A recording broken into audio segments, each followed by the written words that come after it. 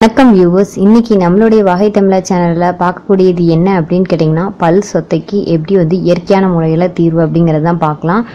வாங்க வீடியோக்குள்ளே போகலாம் வீடியோக்குள்ளே போகிறதுக்கு முன்னாடி இதான் முதல் முறையாக வகை தமிழா சேனலை பார்க்குறீங்கன்னா மறக்காமல் சேனலை சப்ஸ்கிரைப் பண்ணிக்கங்க. சேனலுக்குள்ளார மருத்துவ குறிப்புகளும் இயற்கை தொடர்பான உணவு பழக்க வழக்கங்களும் பதிவேற்றம் செஞ்சிட்ருக்கோம்.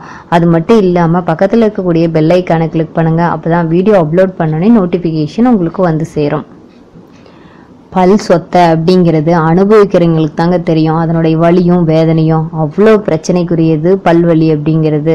பல் சொத்தை ஆனாலும் சரி இல்லை பல்வலியால் அவஸ்தைப்படுறவங்களையும் அவங்ககிட்ட கேட்டோம் அப்படின்னா அந்த வலியை வந்து சொல்லில் மாளாது அப்படின்னு சொல்லுவாங்க. அவ்வளோ பிரச்சனைக்குரியது பல்வலி இந்த பல் சொத்தையால் சொத்தப்பல் இருக்கிறனால நம்ம சாப்பிடும்போது அதில் இருக்கு அதாவது உணவு துணுக்கள்லாம் வந்து பார்த்திங்கன்னா அந்த பல்லோட ஓட்டையில் போய் இதை அடைஞ்சிரும்.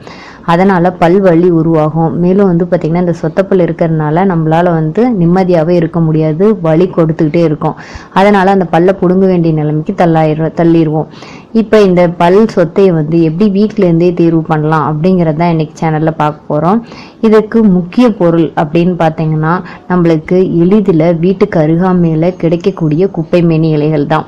இந்த குப்பை மேனி இலைகளினுடைய பயன்களை வந்து சொல்லி மாளாது. இதை பற்றி நிறைய வீடியோ பதிவுகளை நான் போட்டிருக்கேன். குப்பை மேனி வந்து தோல் வியாதிக்கு நல்லதுன்னா அதனுடைய வீடியோவும் போட்டிருக்கேன். குப்பை மேனியை பயன்படுத்தி எப்படி சோப்பு தயாரிக்கலாம் அப்படிங்கிறதையும் நான் போட்டிருக்கேன். கண்டிப்பாக வந்து அந்த பதிவுகள் எல்லாமே டிஸ்கிரிப்ஷன் பாக்ஸில் கொடுக்குறேன். போய் நீங்கள் செக் பண்ணி பாருங்கள் இந்த குப்பை மேனி இலைகளை தான் நம்ம இப்போ பல் சொத்தைக்கு நம்ம பயன்படுத்த போகிறோம் அது வந்து ரொம்ப ரொம்ப அதாவது என்னதுன்னா உள்ளே இருக்கக்கூடிய அந்த கிருமிகளை வந்து கொல்ல வல்லது எது அப்படின்னு கேட்டிங்கன்னா இந்த குப்பை மேனி இலையை சொல்லலாம். இது எப்படி பயன்படுத்தலாம் அப்படிங்கிறத பார்க்கலாம். இப்போ இந்த குப்பைமேனி இலைகள் உங்களுக்கு இயற்கையாகவே வீட்டு அருகாமையில் எளிதில் வளரக்கூடிய இலைகள் தான். அதை நீங்கள் வீட்டிலேருந்தே பறிச்சுக்கலாம். ஒருவேளை அப்படி கிடைக்கல அப்படின்னா நீங்கள் எங்கே செல்கிறீங்களோ அந்த இடத்துல குப்பைமேனி இலைகள் பறிச்சிட்டு வந்துட்டு நல்லா காய வச்சுட்டு அது பவுட்ரு மாதிரி நீங்கள் செஞ்சு வச்சுக்கலாம்.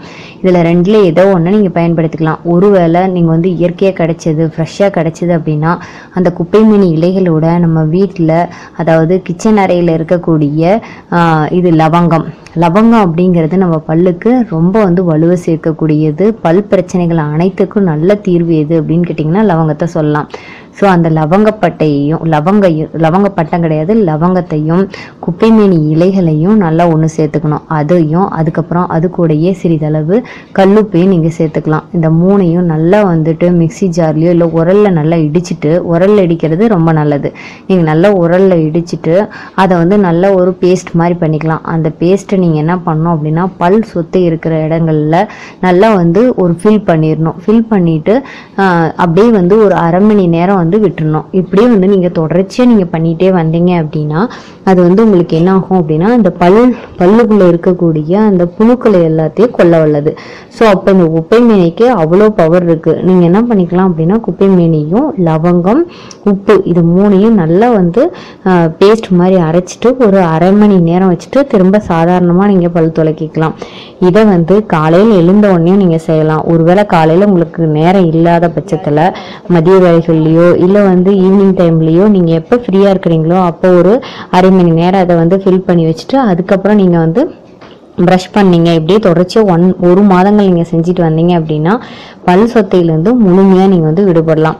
இது எதுவுமே வந்து நீங்கள் வந்து டெய்லி பண்ணுறதுக்கு கஷ்டமாக இருக்குது அப்படின்னு நீங்கள் நினச்சிங்கன்னா இது மூணையும் சம்ம எடுத்துட்டு நல்லா வந்து காய வச்சுட்டு நல்லா மிக்ஸி ஜாரில் போட்டு பொடி மாதிரி நீங்கள் பண்ணி வச்சுக்கலாம். இந்த மாதிரி பொடி மாதிரி பண்ணி வச்சுட்டு டெய்லியும் நீங்கள் அதை பல் துளக்கிறதுக்கு பயன்படுத்தலாம். பல் துளக்கி முடிச்சதுக்கப்புறமா பல் துளக்கிறதுக்கு முன்னாடியோ அதை கொஞ்ச நேரம் பேஸ்ட் மாதிரி தண்ணி விட்டுட்டு கலக்கிட்டு அதை வந்து அந்த அந்த இது சொத்தைப்பல் இருக்கிற இடத்துல ஃபில் பண்ணிவிட்டு அதுக்கப்புறம் ஒரு அரை மணி நேரம் கழிச்சிட்டு நீங்கள் கழு கழுவலாம்.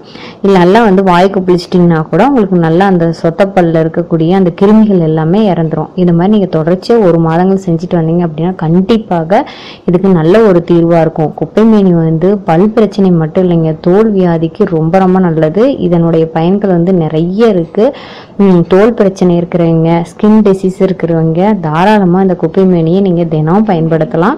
தினம் நீங்கள் பயன்படுத்த கஷ்டமாக இருந்ததுன்னா சோப்பு மாதிரி நீங்கள் தயார் பண்ணிக்கலாம். சோப்பு மாதிரி நீங்கள் தயார் பண்ணிவிட்டு டெய்லி நீங்கள் குளிக்கும்போது அதை போட்டு குளிச்சுட்டு வந்தீங்க அப்படின்னா இந்த அதாவது என்னது இச்சிங் பிரச்சனை அதாவது இருக்கிறவங்க அடிக்கடி சொரிஞ்சிட்டே இருக்கிறவங்களுக்கு எல்லாத்துக்குமே இந்த குப்பை மேனி நல்ல ஒரு தீர்வுன்னு தான் சொல்லலாம். கண்டிப்பாக வியூவர்ஸ் இந்த வீடியோ பதிவுக்கு அப்புறம் குப்பைமேனினா என்ன? இதை பயன்படுத்தி எப்படி பல்லுக்கு வந்து பயன்படுத்தலாம்? பல் சொத்துக்கு இவ்வளோ தீர்வா அப்படிங்கிறத கண்டிப்பாக நீங்கள் தெரிஞ்சிருப்பீங்கன்னு நினைக்கிறேன். இந்த பதிவு உங்களுக்கு பயனுள்ளதாக இருக்குன்னு நம்புனீங்கன்னா மறக்காமல் உங்கள் ஃப்ரெண்ட்ஸுக்கு ஷேர் பண்ணுங்கள் மேலும் நம்ம வாகை தமிழா சேனலை மறக்காமல் சப்ஸ்கிரைப் பண்ணி வச்சுக்கோங்க.